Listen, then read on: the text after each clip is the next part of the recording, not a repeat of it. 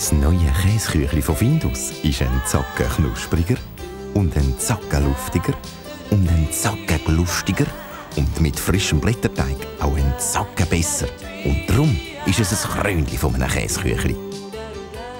Das Rezept heisst Findus.